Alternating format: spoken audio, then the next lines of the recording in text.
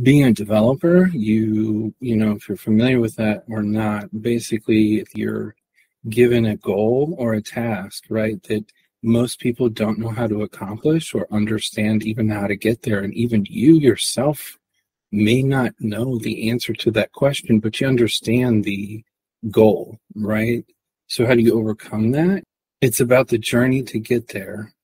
So my favorite project that I've dealt with recently has been for uh, publications, and it was like a three month development.